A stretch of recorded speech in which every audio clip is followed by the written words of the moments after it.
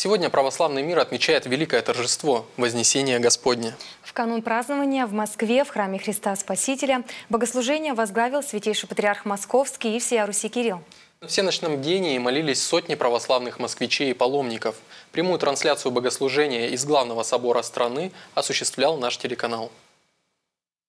Завершились пасхальные дни. В канун 12-го праздника Вознесения Господней вместе с предстоятелем Русской Церкви молились в Кафедральном соборе епископы Подольский Тихон и Воскресенский Савва, духовенство Кафедрального соборного храма и сотни православных москвичей. На всеночном бдении вспоминали евангельские события, связанные с последними днями пребывания Христа на земле.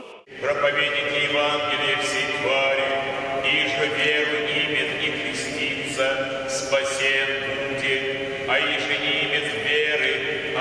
did.